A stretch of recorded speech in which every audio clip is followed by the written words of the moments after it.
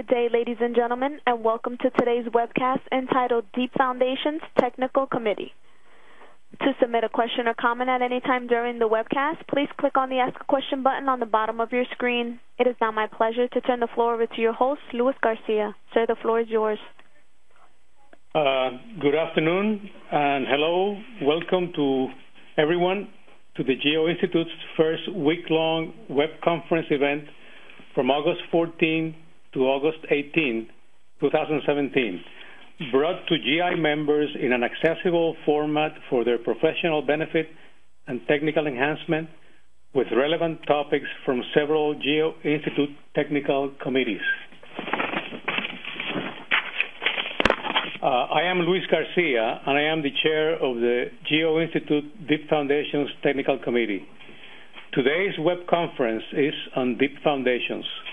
We have four presentations today and each will run approximately 25 minutes with an opportunity for a few questions at the end of each presentation.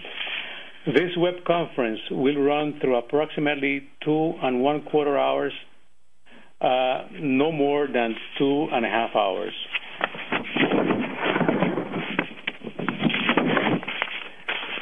Before we get started, we would like to thank our gold sponsor, Hayward Baker, and our silver sponsor, Deep Excavations LLC, whose generous support has helped make today's and the entire week-long event possible.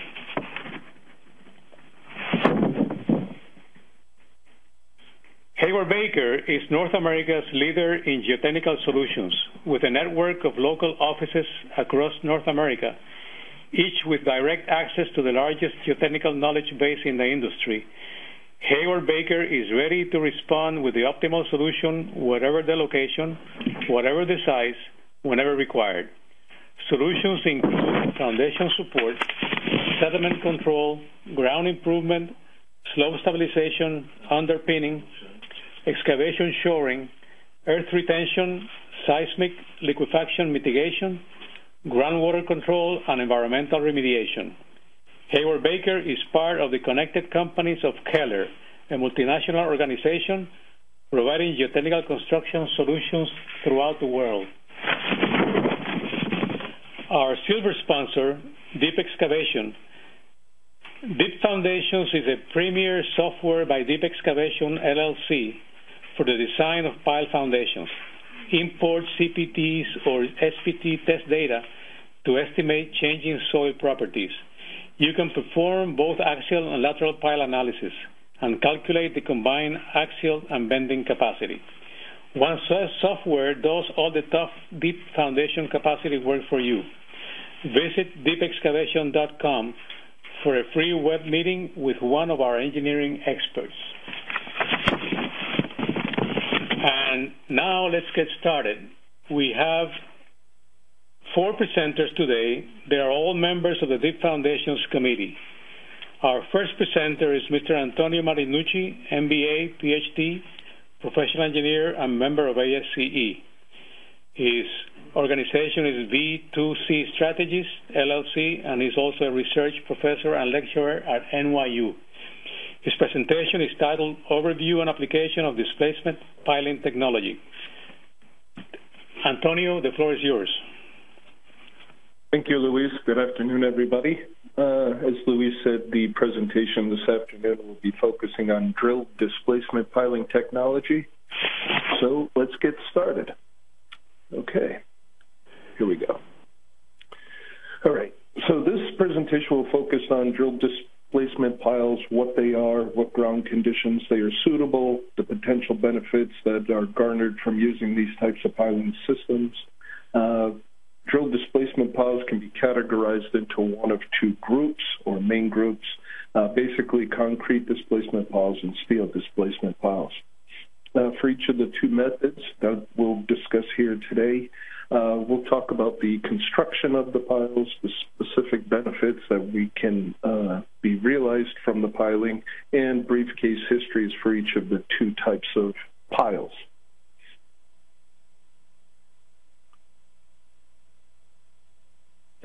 Okay, as shown on the slide in front of you, um, drill displacement piling refers to a specialized technology uh, in which a bored pile is constructed using a process uh, that utilizes a specially designed tool that is advanced into the ground uh, using both a rotation and a downward thrust or a crowd force that is supplied by a drill rig in order to displace the in situ soil radially outward into the surrounding formation without the creation of drill spoils on the ground surface. Uh, the technique is ideally suited for a wide spectrum of soil conditions, ranging anywhere from sandy gravels to clays. Uh, the one caveat being that the soil must be able to be displaced as, as well as compacted.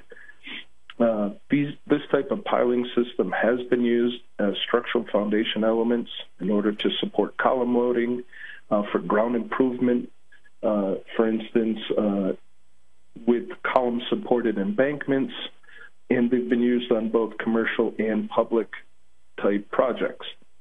Uh, drill displacement piles uh, can also be grouped according to the installation method and uh, based on the type or shape of the tooling that is used to create the pile, uh, which are essentially cylindrical shaped or screw shaped as shown on the two middle pho uh, photographs on the slide. For concrete piles, as indicated by the schematic on the upper right-hand side, modern displacement tools contain uh, similar common elements, and those are a displacement body, which is the enlarged section near the bottom or approximate bottom of the drill tool, the drill string, uh, and that facilitates the soil movement radially outward, uh, displacing into the adjacent or surrounding soil.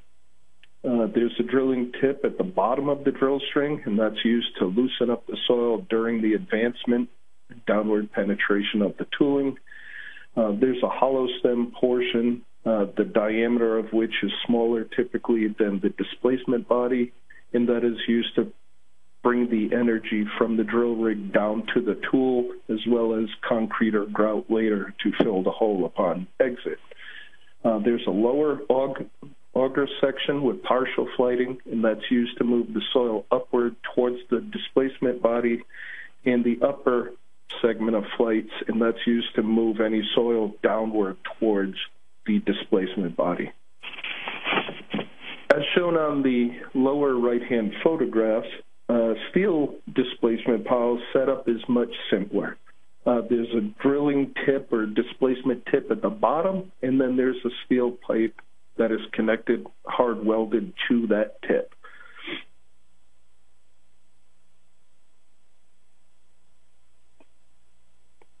So, what happens during the actual construction of the pile? What happens to our ground?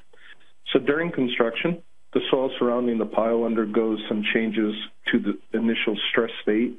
Uh, ergo a change in void ratio.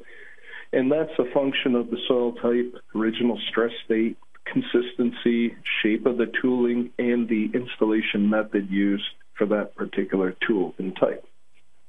Uh, the changes are directly caused by the loading that's imposed on the soil from the tool during construction, from both the radial compactive uh, and torsional stresses, as well as the vertical shearing stresses as the tool is advanced into the ground and then extracted from the ground upon completion of the installation.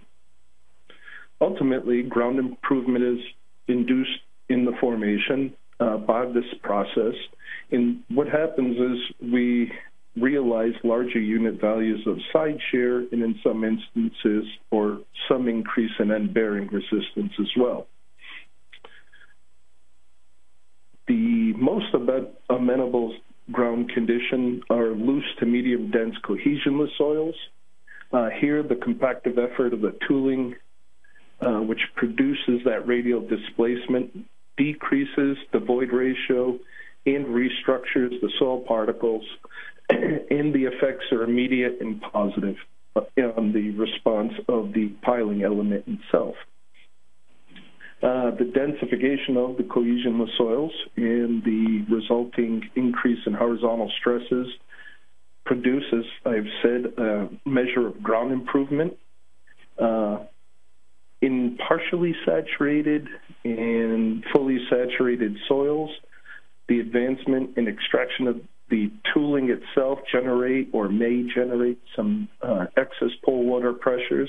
And depending on the fines content, the effects may be realized quickly through a rapid dissipation of this induced pore pressure, or if there are appreciable fines, it may take longer to realize the benefits.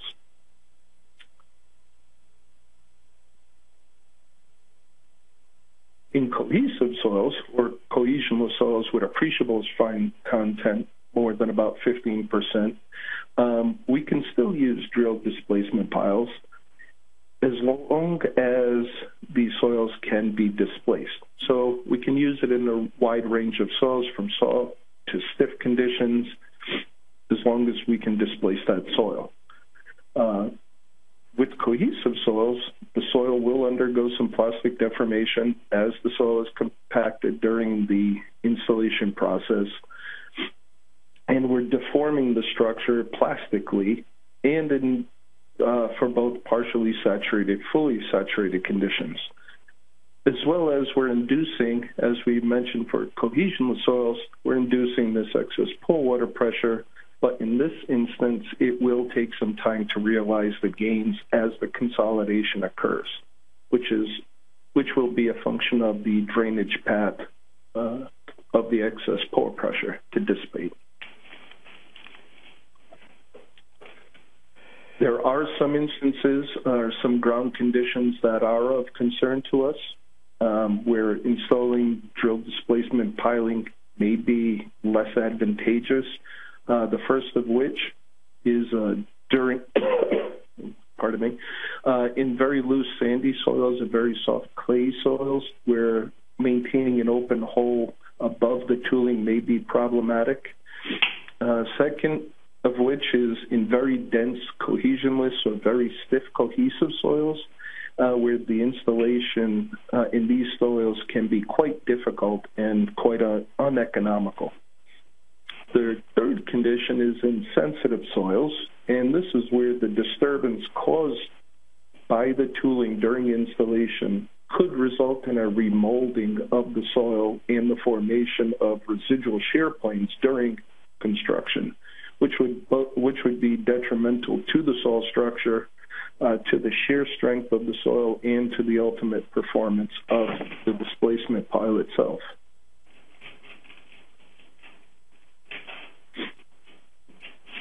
So what are some of the benefits and advantages as seen up on the slide in front of you? Uh, we there's a resulting higher unit side resistance and end bearing resistance that can be achieved. Uh, the load displacement response of a drill displacement pile is comparatively stiffer than that of a comparably sized non-displacement pile. Uh, therefore, we'll be able to realize uh, given load resistance at a shorter length and resulting in a lower cost per ton of load with drill displacement piling. It's also a very environmentally friendly construction approach in the sense that there are a minimal amount of drill spoils that are returning to the ground surface, uh, and this reduces the risk associated with the transport of soils, you know, disposal, especially in contaminated areas, and it lowers the risks associated with the cost of disposal, where to take it, how to dispose of it, how to treat it. Uh, in addition, there is minimal ground vibration induced by this technique because the drilling uh, from the rotary and the drill rig do not it, do not themselves result or induce large ground vibrations. From a worker point of view, on, for your on-site personnel, there's also a, a more clean working platform, working area, as minimal drill spoils are returning to the surface.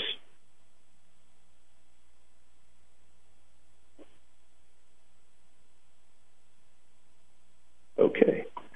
So up on the slide in front of you now, there are four different methods that are schematically shown. Uh, the De Waal pile, Fundex pile, Berkel pile, Omega pile. I will not be able to go through the nuances of each of the methods, how it's constructed, but I will talk about the commonalities of the approach with the these types of concrete displacement piles.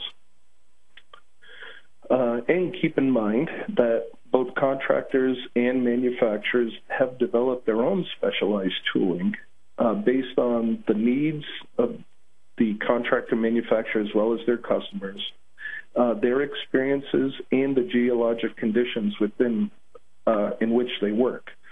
So each method is slightly different and it has its own little nuances. Um, common, common to all methods, modern hydraulic drilling and piling rigs are able or capable of producing high torque and high crowd forces, which are really needed to achieve the desired pile diameters and depths with these uh, with this type of piling. Uh, and keep in mind the maximum achievable depth and diameter, both of which are limited by the capabilities of a drilling rig. And there are three main things that govern this. Uh, the first of which is the pull up or extraction force. Uh, second is the available rotary torque of the drill rig, and the third of which is the height of the drill mast that is able or that is available through the drill rig. And with each of the methods, there are three main steps that are, or three main components that go into constructing these uh, types of piles. The first of which is the advancement or drilling phase. The second is the extraction or the concreting phase. And the third of which is the insertion of reinforcement when necessary. So first, during the drilling phase, uh, this is where the tool and the drill string are rotated and penetrate the ground using the rotary drive and the crowd force provided by the drill rig. The soil, the in situ soil, is displaced radially outward into the formation. And this this portion or this phase continues until the desired depth is achieved. The second phase uh, this occurs during the extraction and concreting phase. So now we've hit bottom and we're working our way back out. Um, this is where the drill string are continue, or for the most part, commonly rotated on the way back out as the drill string and the tooling are extracted. And now grout is injected or concrete is injected into the borehole. Um, the tooling itself, through its rotation, provides or re- results in a relatively smooth borehole wall, and this reduces the concrete overbreak or overconsumption and eliminates over augering as well.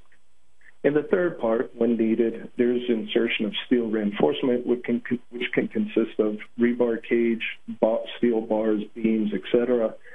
Um, and in most part, the steel reinforcement is installed after the hole has been grouted and all tooling has been removed from the hole itself.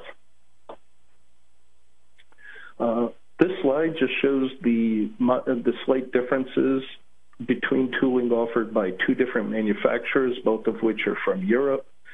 The details of the tooling are provided down on the lower portion of this slide. And again, the, the tooling and the arrangement diameters limited by the drill rig as well as the experiences of the manufacturers. Uh, the tooling on the outer portion of the slide, those have been used for denser, harder soils. And the tooling in the middle, uh, those are used for looser or softer formations. So differences based on geology as well. Okay, so what is used for the grout or the uh, concrete as we're working our way back out. Uh, for the most part, the mixes are relatively similar. Uh, there's a Portland cement, there's aggregate, uh, smaller aggregate for a grout mix, if not concrete. There's water, fly ash, and admixtures. Uh, so admixtures are used to are admixtures affect and they control the rate of hydration. So this is for workability and set time. Water reducers are used as plasticizers, and that affects the amount of water needed for fluidity, flowability, pumpability to make sure we can actually get the mix to where we want it without clogging our lines. The other thing to keep in mind is the injection pressures, and this should be uh, established with an on-site pre-production testing bro- program to correlate our equipment and our methods to our ground conditions. Uh, larger pressures as we're down deep, reducing as we're coming out closer to the ground surface.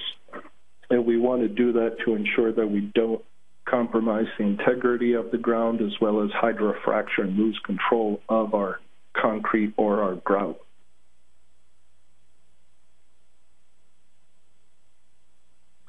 Okay, so the next few slides will show a brief case history of a project that was done uh, by an Italian contractor, specialty contractor, Trevi SPA. Uh, this project site is located on the waterfront in Rimini, which is on the northeastern side on the Adriatic coast in Italia. Um, and this project was undertaken to create or develop a mixed use development of residential and building structures in a rather affluent area. Um, as we can see up on the right hand or on the upper left hand slide, the red outline shows the uh, the outline of the work site, and we can all clearly agree and undoubtedly agree that the working conditions are quite quite insufferable here. So, pardon me, uh, the schematic on the left-hand sh- side shows the original layout of the foundation for one of these larger structures. And here what we see is uh, the original, well, let's start with the geology. So the general subsurface condition uh, consisted of a, a variety of heterogeneous uh, layering uh, comprised, comprising sand, silts, and clays. Um, as we can see in that schematic on the right-hand side, we have a layer of fill, which is underlain by a layer of sand, which is then underlain by another layer of sand, medium coarse, which is then underlain by silt and clays and continues downward. The blue highlighting within this uh, graphic shows the extent of where the original pile depth um, would have been founded in this geology. So, as part of the original foundation design, the designer estimated for this structure and its loading that approximately 1,600 bored piles or driven piles, there would have been a mixture of both, would have been required to support the structure. However, uh, it was deemed that the pile driving operations would have caused excessive uh, noise and vibrations, uh, especially to the nearby residents and surrounding structures. So there was a concern. There was also a concern uh, that the bored pile operations with the use of bentonite slurry as the drilling fluid would also have issues, and this pertained mainly to the cleanliness of the job site uh, and affect which would have affected the surrounding roads uh, when the trucks would have been transporting the excavated materials from the site. Uh, so here we see that the issues were not predominantly technical or solely technical, but they were also uh, socially driven as well, trying to keep complaining neighbors to a minimum.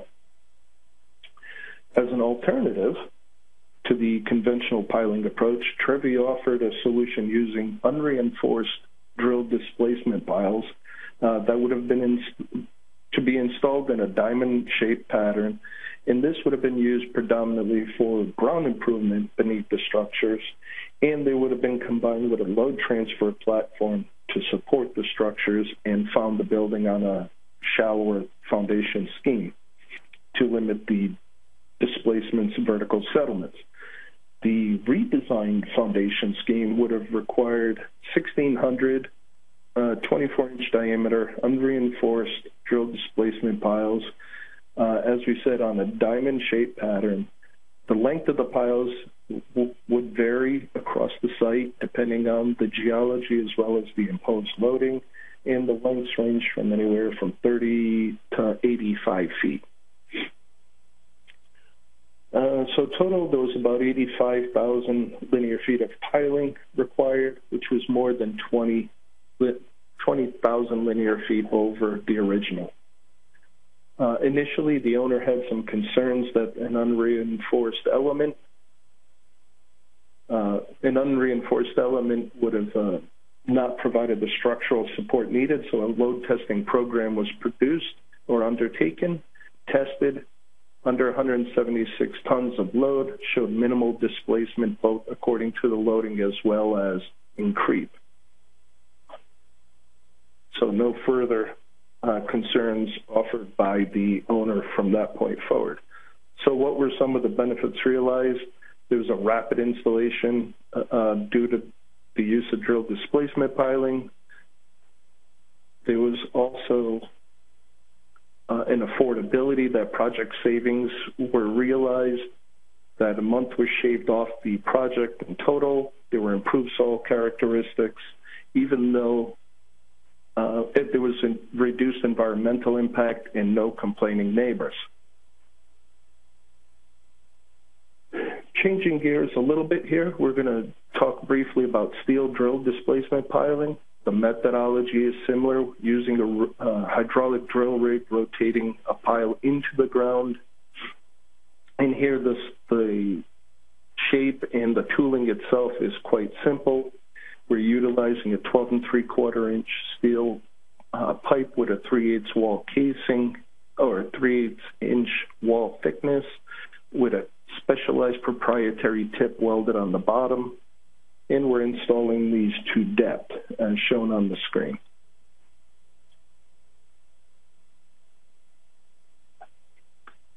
So what are some of the advantages and benefits of using this type of system? Well, many are similar to what we discussed previously for the concrete drill displacement piles.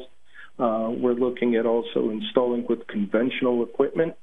Here, because we're not trying to create an open hole, we're installing in a, we can install in very loose, runny, or soft soil conditions. We can achieve high product, production rates because we're only can, keeping connected during installation or uh, penetration into the ground, and then we disconnect from the drill rig and move the drill because we're leaving the pipe in place. Uh, we also have an increased flexibility that we can add lengths as we need to moving forward. Uh, ultimate capacities that have been tested are fairly high for such a small element, so we're looking at the 3 to 400 kips in stiff clays and 500 to 800 kips in denser sands. Uh, quick project overview, case history here. This is a project in Coronado, California for uh, construction of an enlisted, bachelor's enlisted facility uh, for some personnel, Navy personnel. Uh, site investigation was performed to get some design criteria, some design parameters.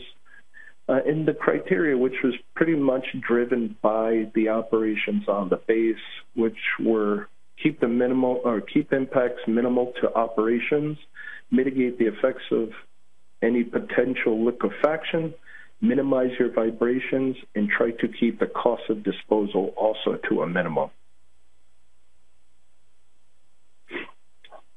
So here we have a site that had looser, for the most part, looser silty sands overlying uh, a loose sand deposit overlying a medium dense to dense sand condition, which was then underlain by uh, clay to stiff, stiff clay or clay to silty clay condition down below.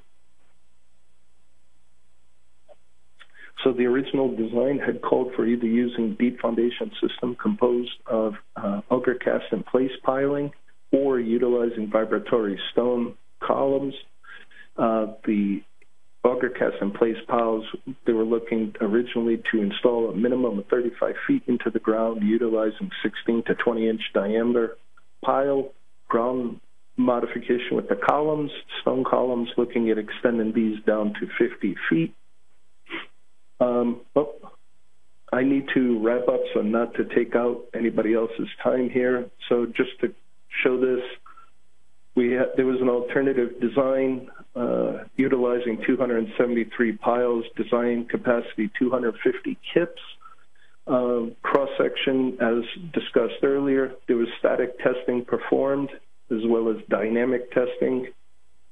Uh, all of the testing had shown that the design limit or the design loading of two and a half or 250 kips was achieved with minimal issues, uh, could handle the load and safeguard against the liquefaction. Again, some of the recap uh, takeaways that we had discussed. Big caveat with drill displacement piles need to create the displacing and compacting behavior of the soil because no spoil are coming back to the ground. So thank you for your time and uh, see if there's any questions at this point.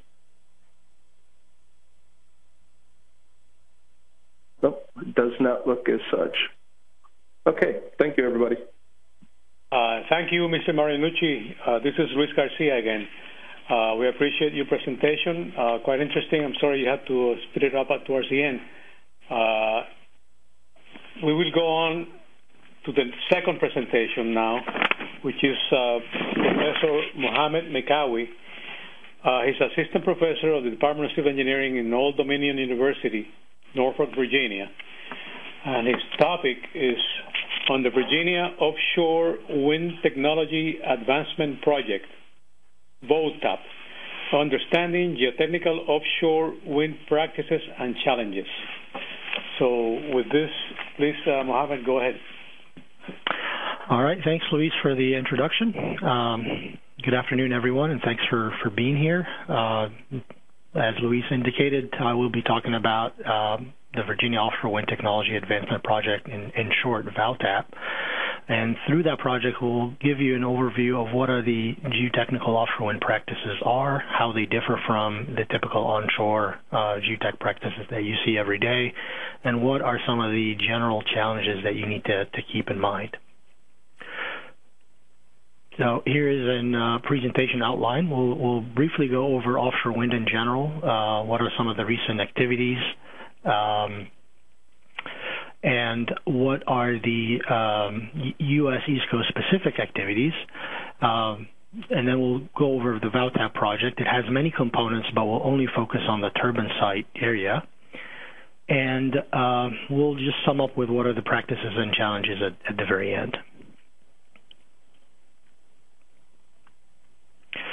So the, the bird's eye view is basically how do we move from a wind source that we identify to delivery of an energy to the grid? Um, and how do we move the engineering aspects, which are unfortunately sometimes underappreciated, of SITIN, site investigation, variable geology design and installation along with it? And to do that, we have to combine the European offshore wind experience um, together with the oil and gas experience that we have here in the U.S. and combine the two together to push the uh, North American offshore wind uh, forward. So here is a uh, three maps of the recent uh, wind energy area activities along the East Coast. So you have the Northeast, the Mid-Atlantic, and the Southeast. Every one of those colored shapes is basically a wind energy area that has a developer um, that will develop a, a wind farm uh, in that area. There's a lot of activity in uh, New York and Massachusetts and in the Mid-Atlantic area, and there's some also talks about potential wind energy areas in, in the in the Carolinas. Um, those don't have developers yet, but they're on the radar for future development. So there's a lot of activities on on the East Coast, and it looks very promising. If you look at the conditions um, along the East Coast, specifically the water depth is, is very favorable. So within the first probably 20 to 40 nautical miles, the water depth is relatively shallow. It's 30 meters or less, and if you go further uh, offshore, um, the water depth is um, on the order of 30 to 60 meters, so relatively shallow water with plenty of wind resources um, that would push this industry forward. Um, we do have to, however, deal with hurricane force winds, and that is something that the European industry doesn't have to deal with. Uh, the good news is we have experience in the oil and gas down in the Gulf with hurricane force winds and how to design for that. So that's why we need to bring that knowledge uh, to that industry. The water depth will influence the loading conditions, what kind of loads are applied to the structure. the site investigation methods, what kind of vessel and kind of, what kind of drilling techniques we're going to have, and the foundation alternatives. So if you look at the bottom schematic in the 30 to 60 meter range, the most likely structures we're going to see in the along the east coast is probably going to be uh, jacket structures and monopiles, with the likelihood of jacket structures being higher. Um, at the west coast, where the water is, uh, gets a lot deeper, a lot quicker, we may see you know floating type turbines, and there are pilot projects in Italy and Norway and in other places that are looking at the feasibility of of these structures.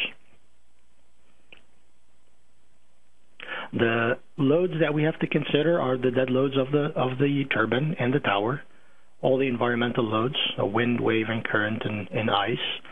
Um, additional effects like uh, ship impact, scour, marine growth, and, and ice loading. Um, we would typically require to do pile capacity calculations, both axial and lateral, to see which one governs and which one is uh, more sen- the design is more sensitive to. Uh, drivability analysis, um, dynamic uh, stiffness of the structure, and then fatigue and cyclic loading. And because of the complexity of these structures uh, and their sensitivity, a lot of the times advanced numerical modeling is, is done. So here's a, a schematic or, a map of the of the project, uh, the VOWTAP project. It's a it's a a research area. So if you look closely at that image on the right-hand side, there's a, a, an orange rectangle. That's where the two turbines, research turbines, are going to be built. They're going to be monitored for five years. Um, and if they prove to be efficient, then the area behind that, which is delineated by the black rectangle, is going to be developed into an offshore wind farm. Uh, the farm is going to be roughly 24 nautical miles offshore of Virginia Beach in Virginia. And the two research towers are going to support a 6 megawatt turbine, and those are considered, the 6 megawatt turbines are considered uh, on the high end of, of turbines manufactured uh, nowadays. There are talks about uh, 8 and 10 megawatt turbines, but the 6 megawatt is one of the largest uh, right now. It is going to be supported on an IBGS substructure, which stands for an inward battered guide structure uh, developed by a company in the U.S. called Keystone. It's a very clever design. It's a lightweight uh, jacket uh, that's supposed to be uh, more fatigue resistant and definitely has a lot of lot less elements and joints. So what we did for this project is uh, a site investigation, a geophysical survey, uh, standard and advanced lab testing, and engineering design. So here again is a picture of what the structure would look like with the uh, GE Alstom uh, 6 megawatt turbine. Uh, it has a 151 meter diameter, the rotor diameter, and it spins at 4 to 11.5 RPMs. The rotor, the nacelle, and the blades weigh 440 tons, and the turbine is going to sit about 100 meters above the sea level, and that gives you an idea of the magnitude of, of these types of structures. Um, the tower diameter is 6 meters at the base, 4 meters at the top, and it weighs 380 tons. On the right-hand side, you see a, a, photo of the IBGS or the twisted jacket. It's uh, uh, supported by three battered piles that are going to be 1.5 meters in diameter, with and a central caisson driven a lot shallower than the piles that is 2.74 meters in, in diameter. So you can see that the, it's a relatively light, lightweight structure. Um, and it's going to support a very heavy uh, wind turbine.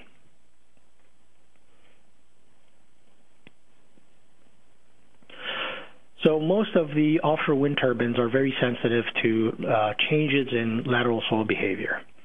Uh, however, this structure is slightly different. Because of the loads and because of the uh, large turbine and relatively light jacket structure and the battered piles, it is actually sensitive to changes in soil properties along the axial direction.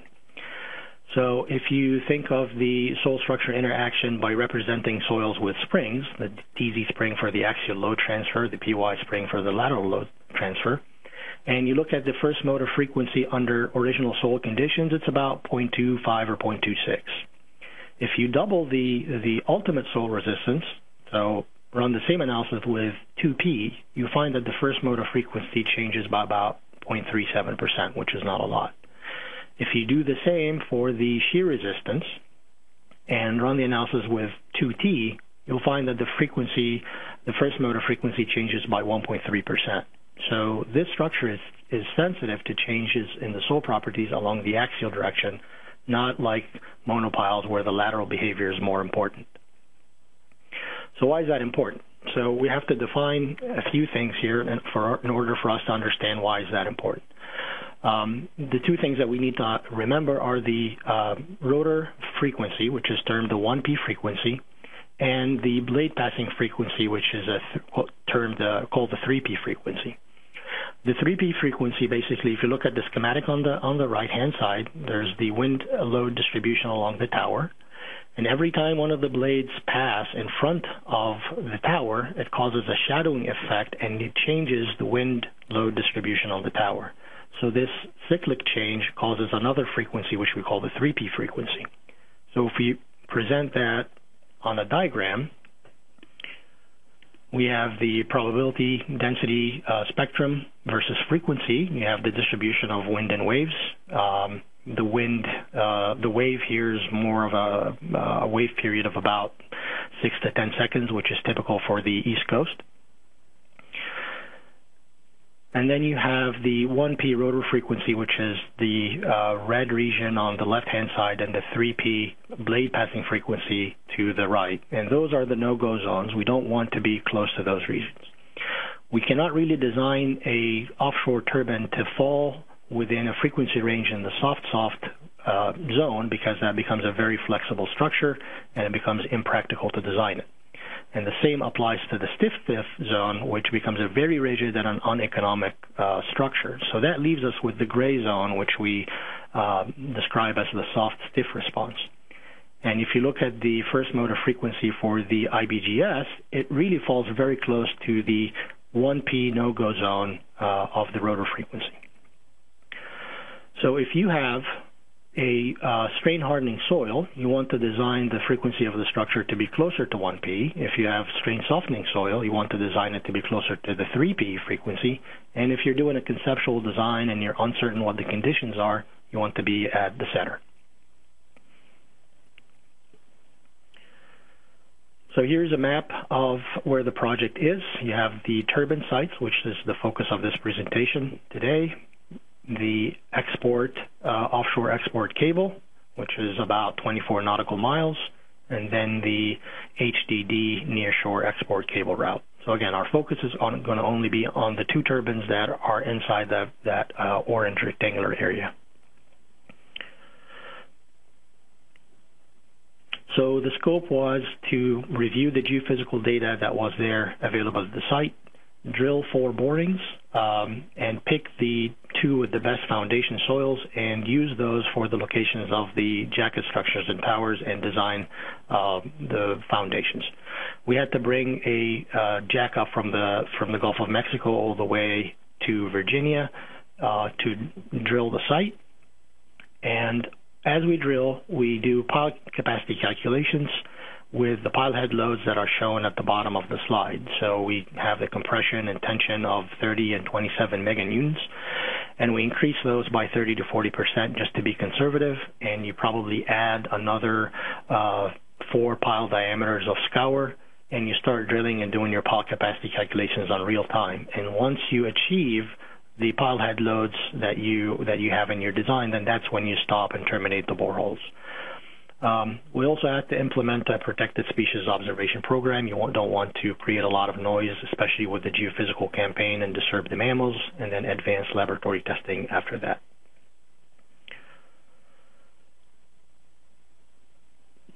So let's take a closer look at the geophysical data that's available at the turbine site. What I'm showing here is multi-beam geophysical data. And multi-beam, without going into a lot of details of, of what the technique is, it's an improvement of uh, simply dropping a lead line uh, and measuring what the water depth is. These are beams that radiate, radiate from a source. They ping the seafloor in return, and they give us an idea about the water depth and the, the features on the seafloor. So if you look at the turbine uh, site, which has the four borings here, the three that we drilled, and then we skipped the fourth one because the soil conditions were all the same, um, you immediately see a hazard. And that hazard is to the north of the turbine site, and I'm just showing these arrows to uh, show you where that hazard is. Well, it turns out that there, there are mobile sand waves that are migrating towards the turbine site. So we went back and we looked at multi-beam data, multi-beam echo sounder data from previous years that have been uh, collected at the same spot.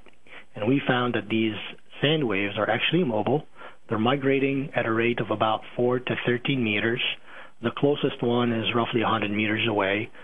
So conservatively, if we pick 13 meters per year of migration rate, then in about nine years, those sand, that sand wave field will be at the turbine site. And it has the potential of raising the seafloor by 2.5 meters, and they have a wavelength of 60 meters. So they can um, affect the first motor frequency of the structures. And that, by looking at the geophysics alone, triggered a study on understanding the impact of sand wave migrations on, on this type of structure that we were installing here. Uh, some of the things to keep in mind when you're looking at the site investigation is positioning. Positioning is, is very important. You don't have landmarks, so you have to rely on a differential global positioning system with sub-meter accuracy. Um, because a lot of the times the tolerance on where you're going to drill and where you're going to do your CPTs is less than one meter. Um, you also have to perform a 360 degree sonar survey before and after drilling. A lot of the times you're drilling in pioneer areas, especially in offshore wind, and you don't know what's down on the seafloor. There could be shipwrecks, there could be uneven seafloor, or a boulder field in the, in the northeast where the most of the areas have been glaciated. So you want to drop the legs of the jack and the, of the jackup in an area that's uh, relatively benign and doesn't have any obstructions. And also sometimes we do a 360 degree sonar after we're done drilling, and you can see from the bottom right um, that the 8-inch borehole is visible. We do uh, slightly different um, drilling techniques. So what I'm showing you here is uh, marine-style downhole CPTs and uh, sample and, and thin wall uh, Shelby tubes that we throw at the bottom of the borehole, and we use to do alternating CPTs and um, sampling. We also combine those techniques with uh, the PS suspension logging system, which is very similar to your uh, seismic CPT test.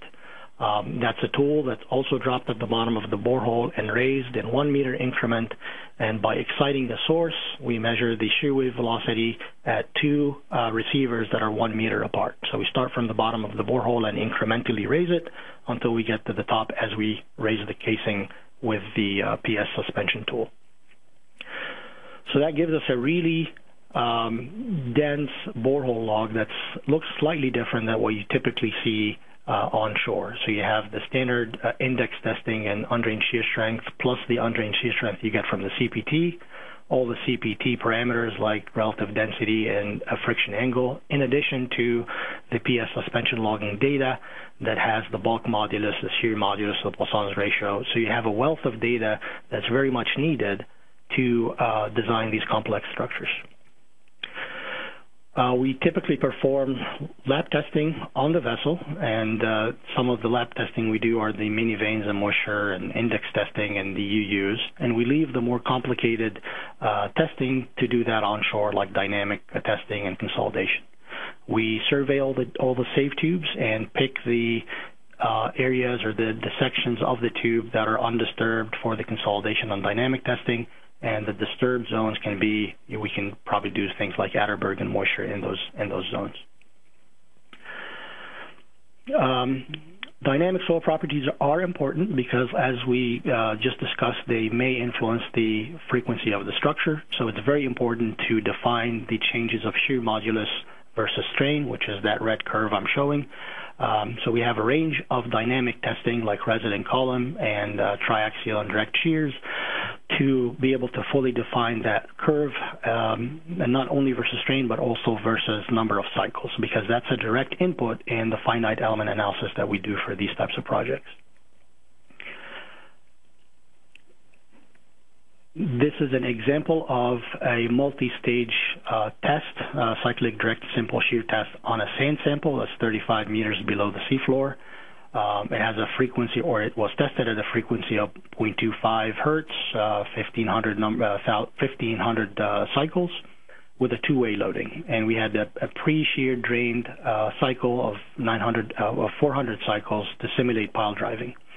Um, and the idea is to show you that you know these tests are are done in a multi-stage as opposed to a multi-specimen like you do uh, onshore. So uh, to summarize what we, we've talked, I know I've, I've went through a lot of things, but the idea was to give you a flavor of what is done offshore and how it's different. Um, we have very encouraging activities uh, offshore, for related to offshore wind along the East Coast. There are other activities in the West Coast and in the Great Lakes and also in Hawaii. Um, when we work offshore, marine drilling is the best technique, so we don't typically rely on SPT type drilling. Uh, we also rely on in situ testing a lot. So wire, wireline drilling, downhole, and seabed CPTs are uh, some of the uh, marine style uh, techniques that we use. It is very important to integrate the geotechnical and geophysical data together to evaluate all the geohazards. Um, understand the short and long-term dynamic flow properties is very important uh, because they do change the first mode of frequency. They can push us towards the no-go zones of the 1P and 3P uh, frequencies. And then finally, some of the challenges. Um, one is vessel availability. For this project, we had to bring a vessel from the Gulf. Uh, the mobilization and demobilization is very expensive. Uh, and whether you bring a jackup or a drilling vessel um, from the Gulf or from Europe is going to be commercially, um, you know, the, your project has to be able to handle that commercially. There are potential for, for obstructions. There has not been a lot of drilling activity in the East Coast, so again, this is uh, this is something that we have to account for. Might be obstructions or artifacts or, or UXOs. So surveying, geophysical surveying, is very important. And then finally, uh, the laboratory tests is a significant component of the project. Uh, the dynamic uh, testing specifically takes time. It, it's slow. It uh, happens after you're, fin- you're done with all the standard testing, so it may add to the schedule of the project. Um, there are not a lot of labs commercially that can handle these sophisticated tests, um, so that again may extend the uh, project schedule. You're going to compete over lab space with oil and gas projects uh, that typically also happen during the summertime where most of the drilling takes place anyway. And then you have to coordinate your cyclic testing with the structural designer so you make sure you're applying uh, the right frequency, the right number of cycles, and define failure uh, the way the structural designer understands what failure is. And then finally, how do we design for extreme events? Uh, this is something unique to the East Coast. Uh, we have nor'easters, we have hurricanes here. This is something that the European offshore wind market doesn't deal with. But like I said, if we bring the knowledge from the Gulf of Mexico to this industry, we should be able to handle that. And with that, I'm going to stop and uh, thank um, you know the companies listed below, Dominion, Fugro, McNeilon, and Keystone, for allowing me to show some of the photos and data uh, from that project, and then open up the floor for questions.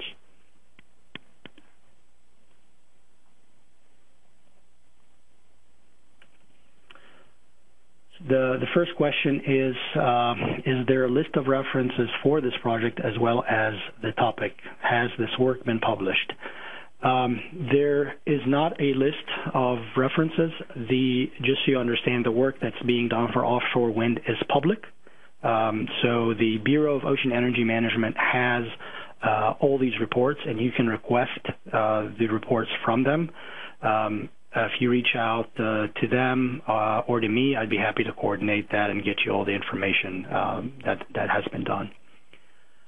Um, another question is how do you estimate the soil parameters, SPT blow counts, uh, after installation of DD pile? I think that was a question to the previous presentation. I'm, I'm pretty sure that uh, you know the displacement pile was for the previous previous presentation. That's correct, uh, Mohamed. Uh, I would like to ask at this time if, if uh, Antonio Marinucci is still in, and maybe he can respond to that first question that came in after he finished. Antonio? Okay, he he may not be in now. So, uh, Mohamed, I, I, thank you a lot for a very interesting presentation. If there is a, any questions, uh, we still have uh, one or two minutes within the time allotted for this presentation. So, will be welcome to uh, write it up and then we can uh, consider it.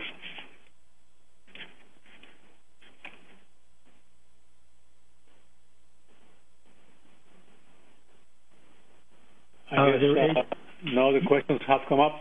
Yeah, there's another Therefore, question uh, here. Mohamed, uh, I thank you again, and uh, we're going to be moving to our uh, third presentation, which is uh, Rozbeh Moghaddam GRL Engineers.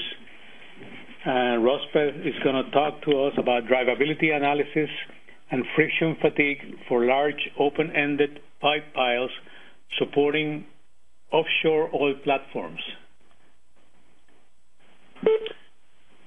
Thank you, Luis, for the uh, introduction, and good afternoon, everyone. Thanks for being here.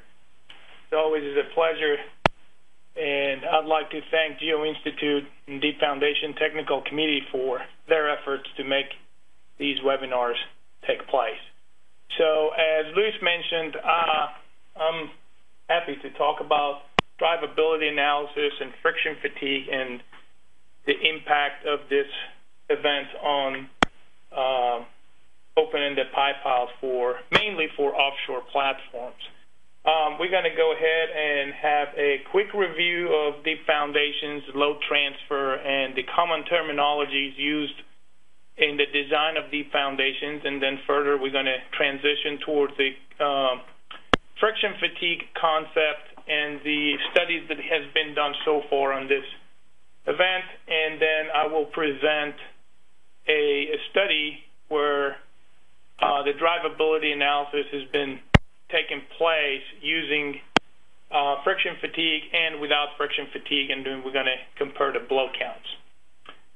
Um, when we talk about um, deep foundations and uh, the loads that are applied to the foundations, it's always good to know the basic terminologies uh, that is used for, for design. So uh, we are commonly referred to head or top uh, load at the foundations, and we have the shaft resistance, the skin resistance or side resistance, and also the tip, base, point, and or toe resistance that refer to the uh, source of resistance in deep foundations. Now, how the load is transferred to these foundations uh, and how the ultimate capacity is predicted, well, there is uh, different ways and different approaches, and mainly the source of resistance is coming from the shaft resistance and the base resistance, and the, these two will yield the ultimate capacity. Now, if the approach is on the serviceability uh, side, then the pile head settlement it will govern the design. So it should be less than the tolerable settlement in order to have a serviceable pile or a pile that is uh, satisfactory or the, the performance is satisfactory based on serviceability. Now, here is just shown on the uh, factor of safety or the allowable stress design. Um, it's not mentioned anything about LRFD, which is a different concept. So we're going to continue with, with the concept of the allowable stress design for this for this map. Now, when we talk about pile design in sand, we can uh, mostly refer to the load mechanism and how the loads are transferred to the shaft. And then when we want to define or calculate the skin friction or shaft resistance in sands, we usually determine the unit shaft resistance using the beta method or is the product of the lateral earth uh, coefficient times the tan delta, delta being the angle uh, between the soil and the pile uh, element. Now, the concept of pile driving through sand is uh, dependent or directly related to the conditions of sand when we are uh, strictly talking about sand. So for a loose sand, we'll have a different type of driving. For a depth sand, we'll have a different type of driving. And to illustrate that, I have put together some, um, you know, subway system uh, I'm sorry, I think, well, the slides are reversed, but um, if we have a uh, pile type, uh, I mean, a type of pile to be installed in certain type of sand, the K value is going to be an indicative of how much shaft resistance we're going to have for that pile. For example, in the fully displacement piles, um, you know, the greater uh, the the um, greater K, you have a smaller displacement, and then for greater, if the K is approximately equal to the K naught, you will have a uh, easy driving or driving through loose sand. Now, what is the K at the end of driving? That is a, a good concept to, to be studied because after the, the sand is um, molded or displaced or modified, you will have a different K value than the initial one. So to illustrate that, again, now I have like this uh, analogies shown in these photos, like when you have the K approximately equal as a K naught at the uh, initial conditions, then it's talking about loose sand. And then relatively, when the pile is driven, can pass through before the sand gets densified, whereas if you have uh, dense sand, the K going to be larger than K naught, and then you're going to have a, a little bit more resistance uh, for the pile drive. And obviously, if we have an extreme dense sand or we have a very dense sand, this will be a condition where, you know, pile driving, if this person that is shown here tries to displace all the way down to take this train card instead of the ones right here, going to have way more difficulty to go through. And every time that he's going through this path, you're going to be disturbing the people around himself. So basically, when this particle tries to move, it tries to uh, pass through this dense uh, sand, going to create lots of uh, resistance. So now, if we talk about clays, things get a little bit easier, where we just use the alpha value or the alpha approach and the undrained shear strength of the clay. So there is a limited research done on clay in general is not uh, a uh, vast understandable concept as the um, sands are. So the approach for the unit shaft resistance is with the alpha value, where it is a reduction of the undrained shear strength, and when we are determining the base resistance, we can use the 9SU or the NQ value multiplied by the uh, effective vertical stress at the base. So the NQ value, the bearing capacity factor, is for used for the sand, and the 9SU is primarily used for clays. This is an API method. Now, in, in in general, the concepts that I was trying to show up to this slide was just a quick review and just a quick understanding of the terminology and the methods existing for uh, the design of uh, piles in sand and in clay. Now, why I included these is because when we get to the concept of friction fatigue and the uh, case study that I'm showing here, we will be talking about the beta value, the alpha value, and uh, primarily shaft resistance in piles. Now, when we start to talk about the concept of friction fatigue, um, if a pile basically is driven into the ground, there is two concepts to be considered. When we talk about open-ended pie pile, one concept is uh, when the pile is driven into the ground, the soil particle start to shear and shear and shear multiple times until the pile uh, reaches the uh, the final depth of penetration. When we talk about offshore piles, these piles are usually very long and obviously larger diameters compared to the ones that is used onshore, and it takes thousands of blow counts to reach the uh, final penetration depth. So due to those blow counts, each soil particle near the shaft perimeter is going to be sheared and sheared again and sheared again, and you're going to create the concept of friction fatigue. That's the number one. Number two, the model that we're going to use, uh, we're going to show here today, also takes into account the internal friction when the plug happens in an open-ended pipe pile. So basically, in this uh, slide is showing T1, where I have the initial part of uh, we're going to drive this pile, and is T equal to 1, and the penetration depth is equals to plug length, so the PLR, the plug length ratio equals to 1. As we advance this pile and we go to the next penetration depth, you still, the penetration depth is the same as the plug length. You still have a PLR of 1, and then so on until it plugs. And then in the next case, you have the penetration depth of 8 meters, where the plug length is 7 meters, so the PLR start to uh, decrease.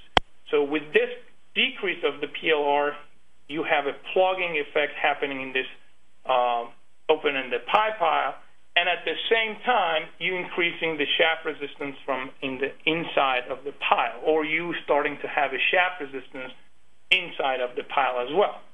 The second concept to to uh, note here is at time five and time six, that plug length has passed uh, the soil particle marked in this slide, uh, the slide uh, uh, uh, as A, the soil particle A so after after X amount of blow counts, this soil particle A has been multiple sheared multiple times. So when when that happens, what happens to, to the soil particle? Well, at the beginning of the uh, driving, looks like this owl, where people are excited to go to engineering school. And as the pile is driven and driven and driven and finally reaches the final depth of penetration, this soil particle A feels like it's about to finish engineering school, whereas soil B, which is very close or almost beneath the tip of the pile, is still fresh. So this is the, the concept of friction fatigue in a schematic way to take a look at it. Now, the first person to study this concept was uh, Heerema or Heerema in 1974 where based on some observations in Belgium, uh, they realized that as you drive the pile to um, higher depth of penetration, the expected event is that the drivability will increase as well because there is more shaft resistance. Because when we do a long-term static resistance analysis for shaft resistance, as the depth increases, usually the shaft resistance increases as well. But during the driving uh, the, the piles, he observed that that was not true, and the resistance was dropping down in a nonlinear form as the depth of the pile was increasing. So he decided to create a uh, lab setup to shear a uh, an undisturbed sample through multiple cycles, and he decided to record or uh, take note of the shear strength. So then he created the plot shown on the left, and the y-axis is the um, skin resistance or friction resistance in kilonewton square meter, and in the x-axis is the number of oscillations. As you can see, as the oscillation was going up to 100 oscillations, gradually the friction uh, resistance started to drop, and then you have an, an, an increase, is a very small increase, and then further decrease until after 500 oscillations, it, it appeared to be like a constant uh, resistance. So that was something that he observed, and based on this observations and observations taken from the field, he determined or he proposed a model to be applied, a mathematical or a predictive model based on empirical data to predict the drivability and how uh, the skin friction in these uh, driven piles will reduce during driving and how that effect would be. So he started to study this with the uh, main model uh, proposed at the uh, skin friction resistance, FS, which um, the approach was okay, the FS is the a combination of FS residual and the combination of FS initial, where residual is referred to in this particular study was during the uh, friction resistance during the driving, and the initial was the static long-term uh, resistance. So based on these two parameters, he created the model, and the shape factor for the model was directly correlated to cone penetration data, to the tip resistance on the CPT uh, determined at the site or at the at the, at the um, pile driving site. So then he correlated the uh, values and divided it for clays and sands. So in case of clays, we have the uh, on the residual, which is again the residual will be during driving, uh, he correlated to a QT in function of uh, uh, initial vertical stress, and for the initial, he directly takes the CPT sleeve friction. So he gets the FSI, which is the initial shaft resistance, skin resistance, and base, and gets FS rest, which is the residual base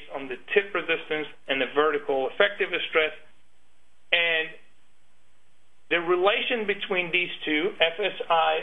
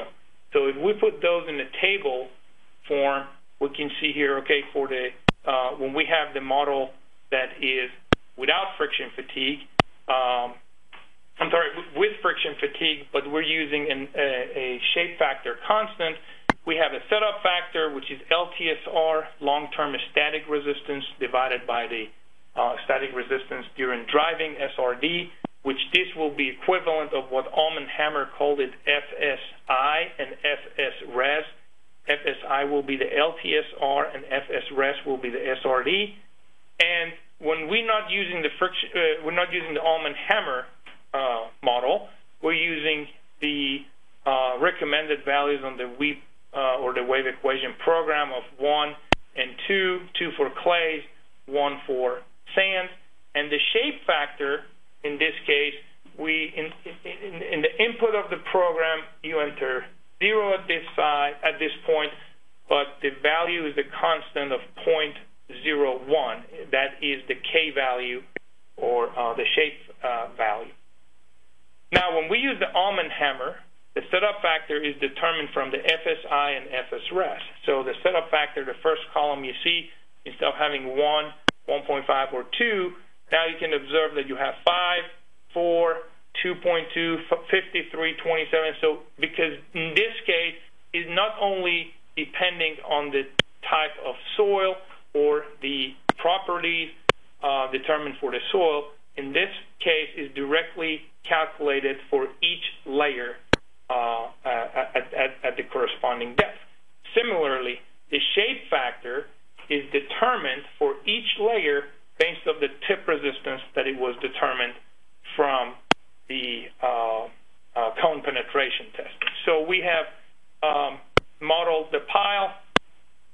As you can see here, we have the batter pile, we have the jacket, um, cushions and hammers, and then the splices locations, and then the API method to determine the static resistance on the base and shaft, and then we input the properties for the pile itself, such as the module of elasticity, um, unit weight, and the location of the splices. And then when we're going to introduce the Alm and Hamre, we have to have uh, a, a, a detailed calculation for the K value and the shape factor. So again, uh, the K value is determined based on CPT test that it was done at the location of the project, and the shape factor is determined based on the tip resistance of the CPT as well. Now, after we do the analysis, the results show very similar to what Alm and Hamre was suggesting in, in, in their study. As the pile goes deeper and deeper, the uh, shaft resistance, or the unit shaft resistance, decreases. So as you can see, uh, yellow dotted line is where uh, the pile was driven to 30 meters, whereas the red one is at 119 meters. And every time in between, such as at uh, uh 30, 38, 30 meters, 60 meters, and 85 meters, every time you look at that um, depth, you can see a reduction of uh, shaft resistance. And you can observe this in all um, Alm and Hamre model, and you can observe this in the uh, in the uh, uh, wave equation program without Alm and Hamre. Now the difference is the Alm and Hamre. How does um, the, the, the main question is how does Alm and Hamre uh, matches the drivability?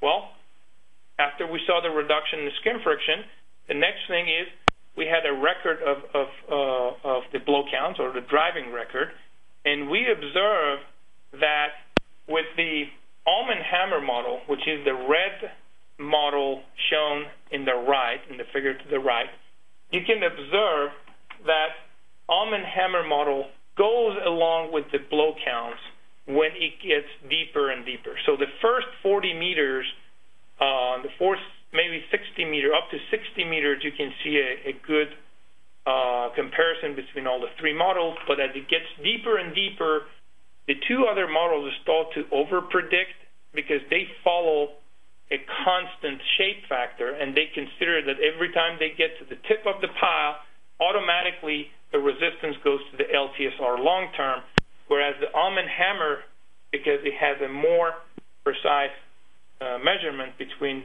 tip of the pile and the next soil particle because of the shape factor, it shows a more consistent model or more consistent drivability uh, with the reality with what is measured. Uh, in this figure to the right, the, the, the green uh, graph, a green plot represents the actual measured blow counts, and the other three solid ones, it represents the predicted drivability based on a wave equation uh, program. Now, you know, in general, uh, after or in, in summary, know, using a constant shape factor for a drivability analysis, it could give a over prediction for the blow counts, and it could give the impression that you need more blow counts. So incorporating the Alm and Hamre model in the drivability analysis to predict blow counts required to pass through the soil layers, uh, it seems to be more uh, applicable than the other models. And I think with that, I will like to turn it to questions and answers, and I'd be more than happy to answer if there's any questions. Thank you.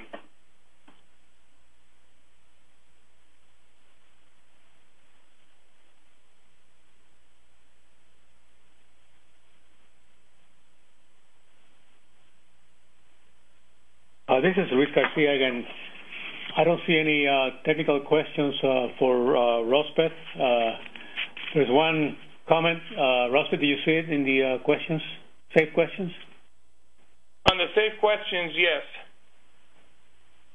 Yes, it is. For, I understand, and um, this is not a technical question. I, I would I would be more than happy to answer this question, but it's not related to drivability. It's the, the, the way we just to uh, the broad comment, the way we receive the information from our client is the way we present it. So it's not. Uh, I cannot modify what they do. Very well. Uh, Rozbeh, thank you very much for your very interesting presentation. And uh, we, we do have uh, some minutes left uh, for your time. Uh, if there's any other questions, but I don't see anything coming in. So if Uh, anyone comes up with a question and we're still around at the end of the uh, presentation, we may entertain those uh, answers to those questions. So again, thank you very much, and let's move on to uh, our last presentation. Last but not least, uh, our presenter is uh, James Niehoff, uh, PE, a member of ASCE from GEI Consultants. Uh, Mr. Niehoff is going to be presenting us on the use of deflection-based side shear and end-bearing relationships in CFA pile design to predict performance and ultimate capacity. Uh, Jim, you can go ahead. Thank you, Luis. Uh, good afternoon to those who are in the East Coast, and uh, good morning to those who are uh, further west. Uh, this particular topic is one that I've been very interested in for some time because the most uh, analyses uh, of design uh, relate to ultimate capacity as, as it compared to deflection-based capacity. Uh, the ultimate capacity is a very, very applicable method to short piles, but not as applicable to long piles, and that's what I'll be getting into today. Uh, just a, a, brief outline. Uh, we're going to talk just uh, very generally about uh, CFA piles. Uh, some of the previous presentations this morning have, have discussed this, so I'm not going to linger on that very long, but uh, just go through it rather quickly. I'm going to talk again very br briefly about traditional pile design methods. And then ask the question, do current design methods properly assess load transfer and support? I'm going to introduce uh, deflection-based procedures uh, that, that I've been using for some time. There are some accept, accepted methods out there, but most uh, methods uh, that are being used currently uh, are based on ultimate uh, capacity divided by some safety factor. Then I'm going to go through a case history to sort of illustrate how we can practically use this information to perhaps better design foundations. So very briefly, uh, CFA piles, which are uh, uh, continuous flight auger piles, are a uh, cast-in-place uh, pile type of a system. Uh, the diameters typically range from uh, 12 to 24 inches, although in some cases these piles can range up to one meter in diameter. In typical installation depths are up to about 120 feet, but again, with some types of equipment, we can exceed that depth as well. And load capacities, particularly for some of the larger diameter CFA piles, uh, can range all the way up to uh, 1,000 kips.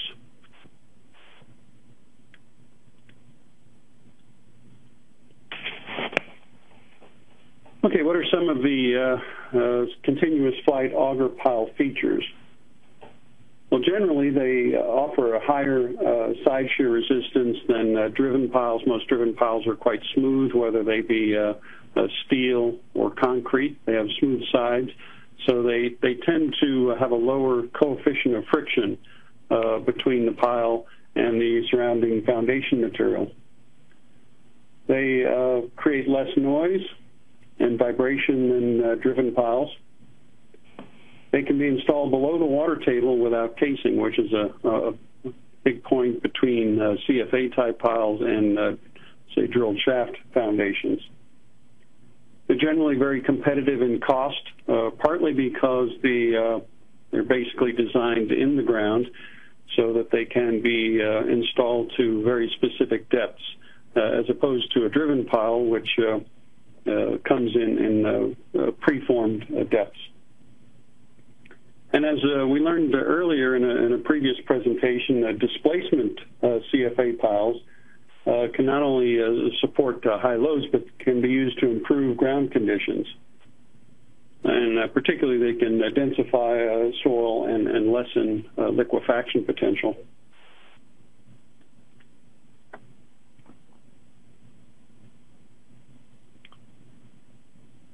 Okay, looking at the traditional auger cast piles, they're first drilled into the ground with the auger, and then as the auger is withdrawn, uh, concrete is uh, placed uh, directly in the bored hole.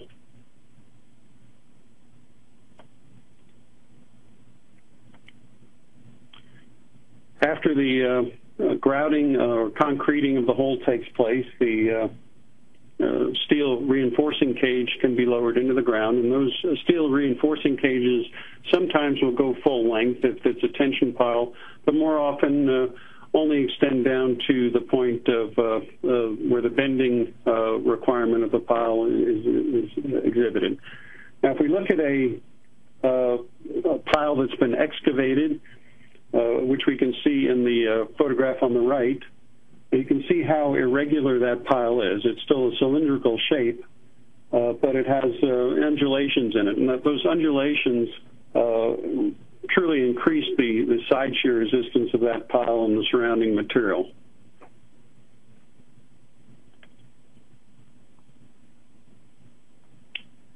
As we learned earlier, uh, displacement auger cast piles are very similar to uh, conventional CFA piles, except all the cuttings stay in the ground. And uh, again, uh, as was noted earlier, there are different types of uh, displacement auger cast pile. This one, again, is a uh, De Waal pile uh, which has a lower flight, which pushes the cuttings up upward.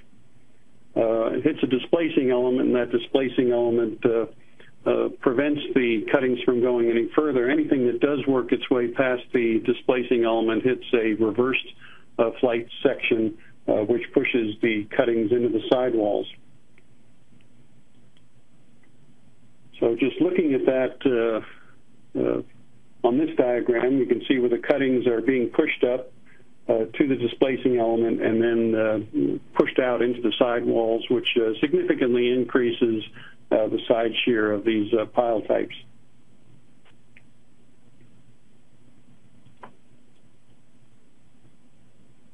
Now let's go back to uh, basic technology in determining pile support. again, been has been mentioned in previous uh, talks, uh, capacity is derived both from uh, side shear and from end bearing.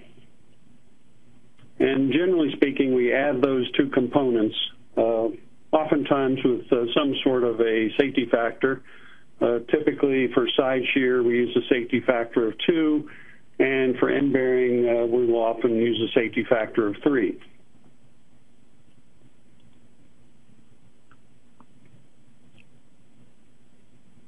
So the current design practice uh, is based on the assessment of the ultimate capacity, both in side shear and end bearing. And again, they're multiplied or divided by various safety factors. And that uh, technique is used in many of the, the, common procedures, whether it be AASHTO or uh, uh, other other methods. Uh, all typically use an ultimate capacity, and whether whether we use an, an LRFD method where the uh, safety factors applied in different areas, but uh, ultimately um, the capacity is, is, derived from an ultimate strength uh, divided by some value. Let's look at these components individually. Side shear is a function of the composition and density of the subsurface materials, uh, the borehole roughness, and uh, grout pressures used in uh, uh creating these uh, CFA piles. For medium dense to dense sands, uh, we typically get somewhere between 1,000 and 2,000 pounds per square foot of design capacity for CFA piles. Now, that may increase somewhat to, to say 3,000 PSF for the displacement auger cast piles. For clays, we look at uh, typically about 50% uh, of the cohesion of the uh, clay soil is used as the ultimate capacity Uh, for uh, CFA piles. In weathered rock, uh, we can get 4 to 8 KSF.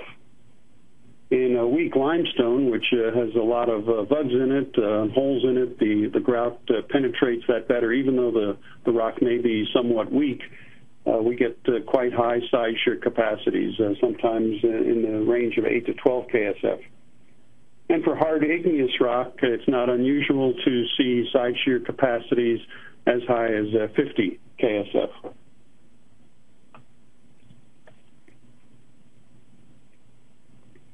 Now, what have we learned from uh, load tests uh, as far as side shear and uh, looking at end bearing? Well, if we look at these two graphs, uh, these give us uh, sort of a, typical uh, demonstration of how much movement is required to generate both uh, side shear and end bearing. If you look at the uh, side shear capacity, depending on the density of the material, uh, we, we get a family of curves, but most of those curves we see the vast majority of side shear is developed with very, very small movements. In some cases, about uh, an eighth of an inch or so, uh, somewhat higher than that perhaps. Uh, we get the vast majority of side shear at very, very low movements of the, of the pile. On the other hand, end bearing is a much more gradual, get a much more gradual increase in load. And in most cases, it, it, may be an inch or more before we fully generate or generate even a large uh, uh, percentage of the end bearing capacity. So as we can see, uh, there is some strain incompatibility between uh, load transfer uh, between side shear and end bearing, with side shear taking very low movements uh, to generate large values and large movements required to generate end bearing.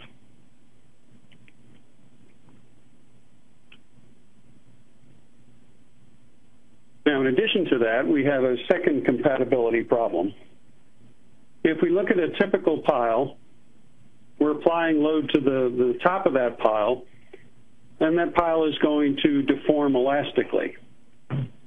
Now, we look at the very top of the pile, the, the first segment that we're looking at at the top, it's feeling the full effects of the applied load. So therefore, that upper segment of the pile is, is uh, compressing the most elastically. As we go further down, the, the pile sheds more and more load in side shear. So therefore, the segments below that upper segment are deforming less. So by the time we reach the, the base of the pile, a substantial amount of the load has been taken off in side shear, so that lower segment is only subjected to a very small uh, compressive force, so therefore deforms the least elastically. So what we often see is then that the upper part of the pile deforms significantly, while the lower part of the pile only deforms a small amount. As a result, we're getting far more movement at the top of the pile than we are at the bottom of the pile. And as we discussed before, side shear occurs with very small pile movements, whereas end bearing requires large pile movements. So not only do we have a, strain incompatibility as to when load is being generated, but we also see that a pile is going to move more at the top than it will at the bottom.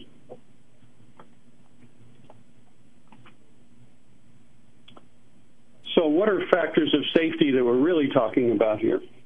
So let's look at a typical pile. And let's start at the uh, left part here. The base moves the least of, of any segment of the pile.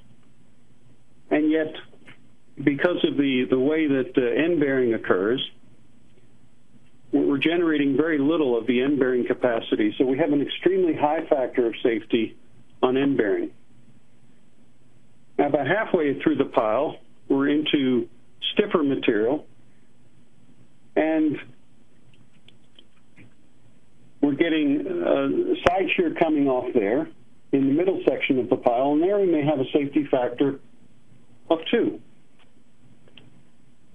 The top part of the pile, which is moving the most, we've basically exceeded the deflection of the top part of the pile relative to side shear, so the safety factor of the top of the pile relative to side shear might be one.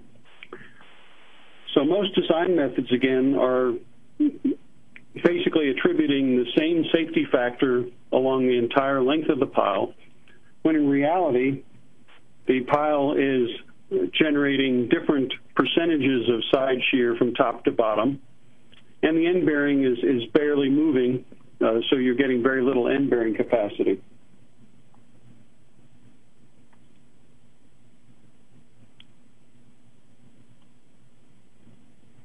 So, looking at actual load transfer versus design methods, the actual factor of safety of side resistance varies along the length of the pile. It may be close to 1 near the top and 2 to 3 toward the base, again, because of the difference in deflection of the pile relative to the foundation materials. For medium to long piles, little if any load typically reaches the pile tip significant end-bearing capacity may not be realized before the pile exceeds the full capacity in side shear.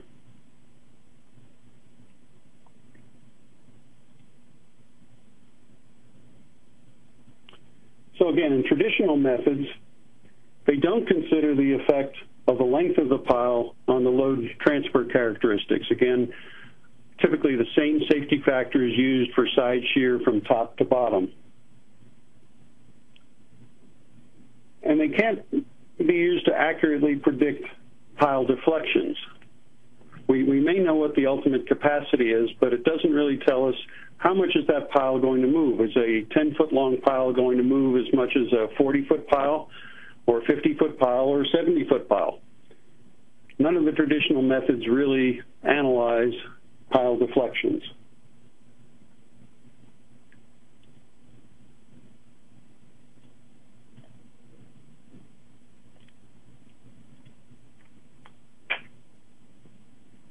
So now, a deflection-based uh, methodology is not a new approach.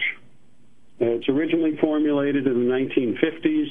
Uh, the API, in particular, uh, has a fairly uh, detailed method for analyzing capacities by pile deflections, but very few major design methodologies currently use this. The methodology does consider the load deflection characteristics of soil and rock along the sides, as well as the base of the foundation. It properly considers the length of the foundation and allows for the determination of the relative contribution of the capacity from both side shear and end bearing. And the factor of safety is based upon the total deflection criteria rather than the ultimate capacity or, or of the side shear and end bearing as, as taken individually. So let's uh, sort of go through how this procedure works. Normally, when you're analyzing a pile, you're looking at putting a load on from the top and seeing how it transfers downward. But this particular method, we start at the bottom and work our way up. So the first thing we need to do, though, is to define a load deflection criteria both for end bearing and side shear. And that's often done uh, using uh, load test uh, data. Then we select an arbitrary end bearing uh, deflection. So at the very base of the pile, we put a load on it, and that load creates a deflection. That deflection then uh, can be input into the side shear component to see how much additional side shear will come off in that lower pile segment. We continue that procedure up the pile until by the time we reach the top of the pile, we have both an end bearing value and a cumulative side shear capacity. We re repeat the process using a larger deflection, and again, uh, looking at the, the, effects of that larger deflection on, on side shear uh, along the elements of the pile going from bottom to top. Ultimately, what we do is then we derive essentially a load deflection curve, very much like a uh, the curve we would derive from a top-down load test.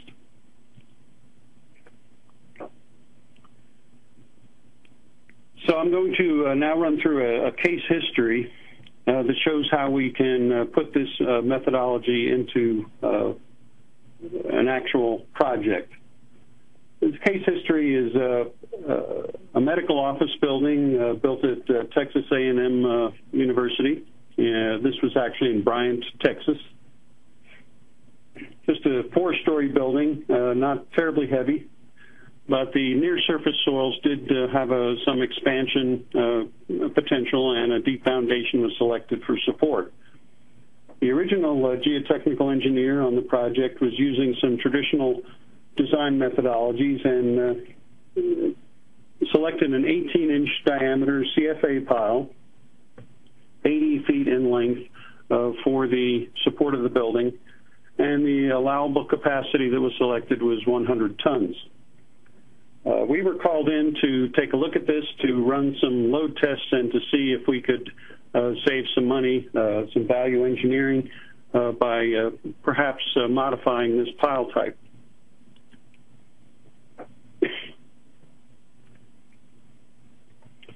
This is the uh, typical subsurface profile.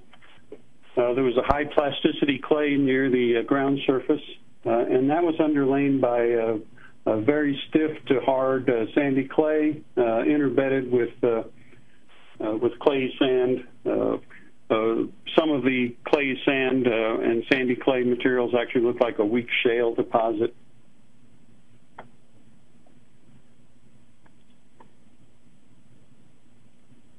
So the load test that was selected was an 18-inch diameter CFA pile. We selected a 50-foot embedment depth, and it was instrumented with strain gauges at uh, 3 feet, 10 feet, 25 feet, 35 feet, and 45 feet. The 45-foot one was intended to uh, uh, see what kind of end bearing we might have. The test pile was loaded to 500 tons capacity.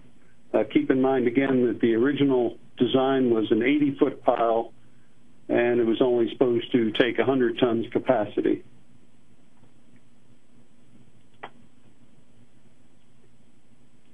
Now looking at the uh, load deflection curve for that pile, uh, the blue line represents the uh, actual load test data. As you can see, uh, it uh, it may have failed uh, using the Davisson's method somewhere around 875 tons. Uh, did not fail using uh, the Brinch-Hansen method. Uh, but again, the, the pile did pass. But again, the original design capacity was for 100 tons for an 80-foot pile, and this is a 50-foot test pile, so it did quite well.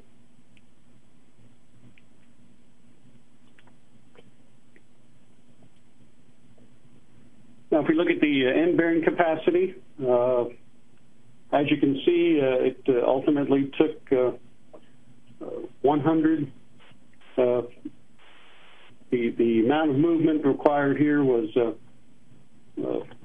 about 0.4 inches to take 100 kips per square foot.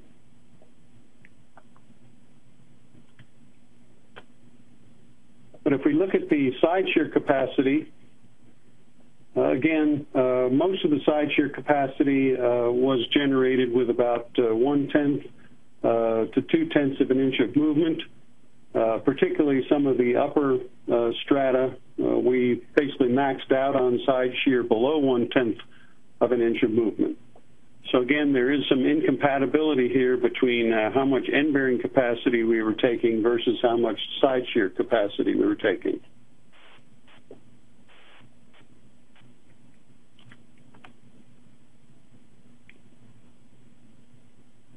So there are different methods to determine the relationship between movement and side shear. Uh, API has uh, what they call TZ curves for different types of material. What I found uh, fits quite well is an arctangent model. Uh, the side shear is equal to a, uh, what I call an alpha factor times the arctangent of a beta factor times Z, Z being the uh, deflection. And the uh, alpha factor is related to some extent to the ultimate side shear capacity of the material.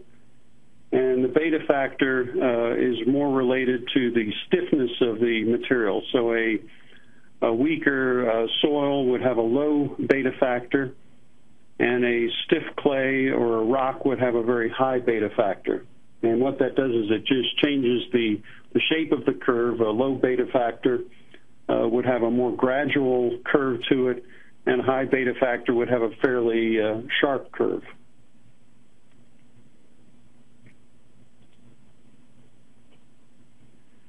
So you take the load test data and you create a model using uh, that formula. Uh, you basically curve fit using different alpha and beta factors, and you develop models for the various uh, strata uh, within the site. And uh, this uh, particular graph shows the the models that were developed. The the dotted lines are the models. The solid lines are the original data values.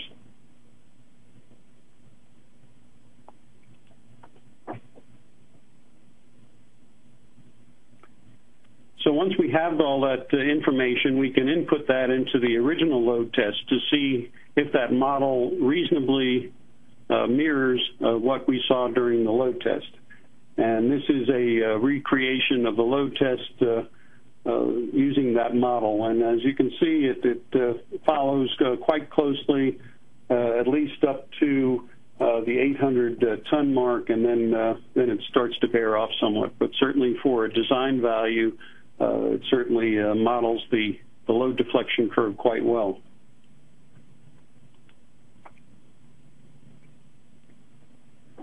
So once we have that information, we can actually change the length of the pile, run it through the same analysis, and essentially develop load deflection curves for 60-foot piles, 70-foot piles, 80-foot piles, 50-foot piles, 40-foot piles, whatever length of pile we want.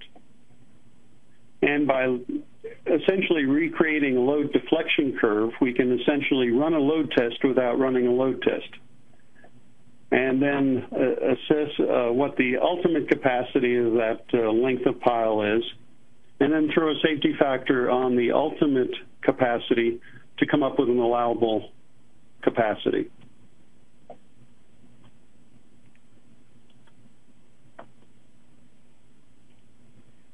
So as far as the application to this uh, project, uh, we essentially increased the allowable capacity of the piles from the 100 tons originally recommended to 200 tons. We reduced pile lengths from 80 feet to 45 feet. And in some cases uh, where we had to support the floor slabs, we actually put in some short piles, just 25 feet long, to support uh, small capacities of, of 50 tons each.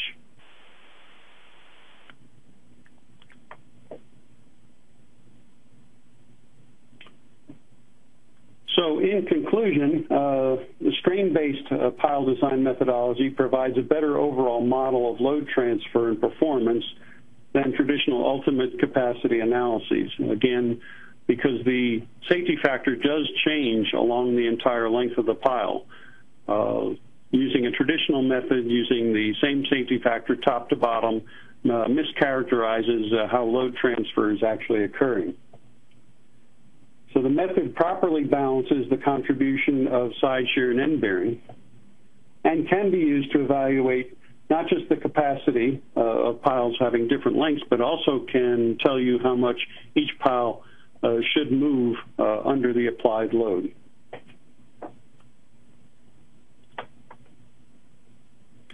At that point, uh, be happy to open this up to uh, questions. And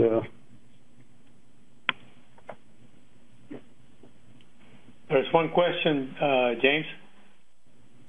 I'm looking.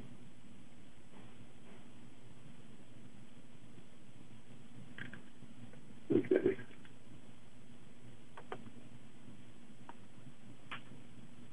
I don't see any uh, questions here. Maybe I'm missing something. The question is, have you seen any densification effects on end bearing?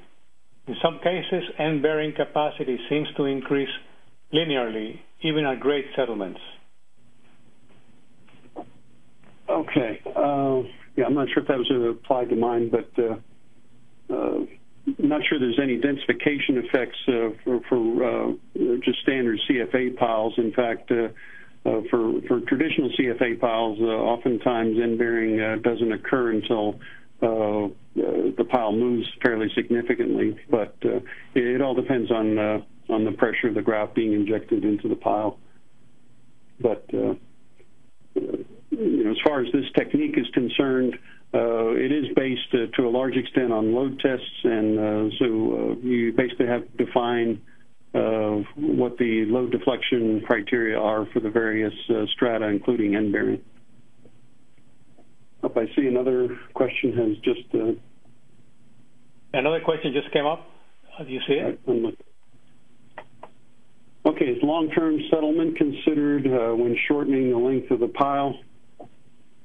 Uh, certainly, uh, individual piles, uh, we need to uh, concern ourselves with settlement just as we would with any sort of a load test, uh, and certainly group settlements uh, still have to be taken into consideration. Uh, that's that's usually a larger concern because oftentimes we don't have single piles, we have groups of piles, so we, we still need to evaluate long-term settlement uh, as we would uh, any any type of pile. So yes, uh, shortening the pile, we still need to look at the uh, the group effects and, and long-term settlement of the pile groups. Uh, see another question. Uh, let me see. There's a. Uh, what technique is used to install instrumentation on the piles?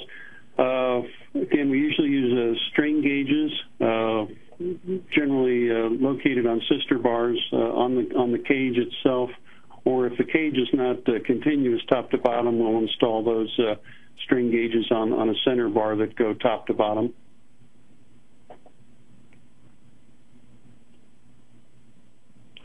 And it says, would this method apply in the same way to H piles?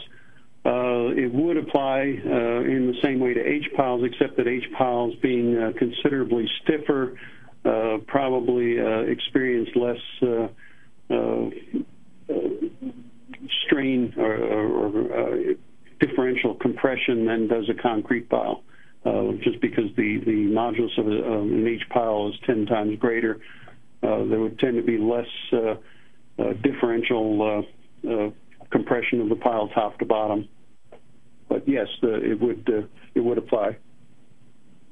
Um, another question. What is the permissional uh, permissible settlement for CFA. Uh, that's very much uh, an issue related to uh, what the structural engineer will allow.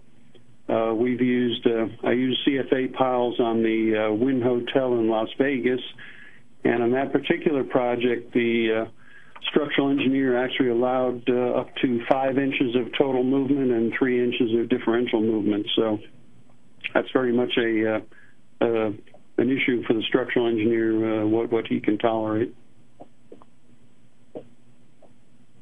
Uh, see another question. One's coming in. If we do strain-based uh, pile analysis, uh, we do not need to check for geotech capacity using a safety factor of three for end capacity and two for friction, correct?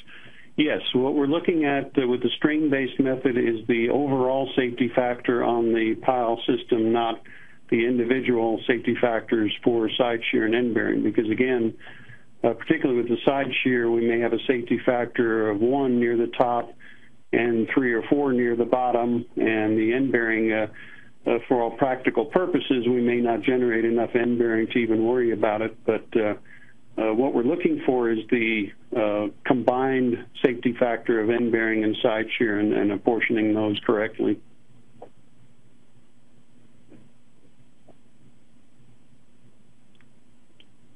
Very well. I don't see any other technical questions. There's one pending question asked earlier uh, about the availability of these presentations. And uh, I'd like to remind you that they will be all available in the GI YouTube channel in a few weeks.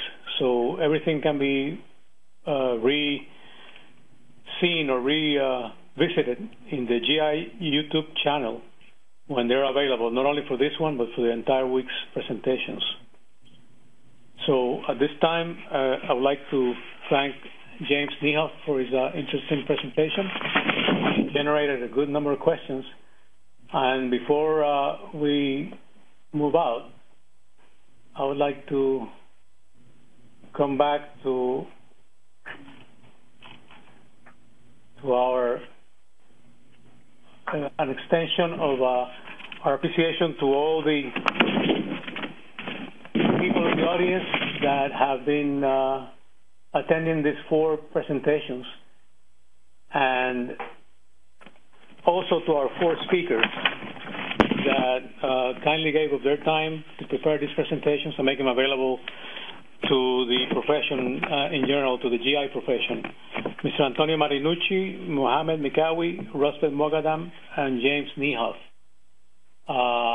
Trying to get back here to our our original uh, slides. There we are. Uh, let's see now where we are. Yes. Uh, I'd like to go back to our, again, uh, as I just said, uh, presenting uh, our, exp our expression of appreciation to all the attendees and to the four presenters.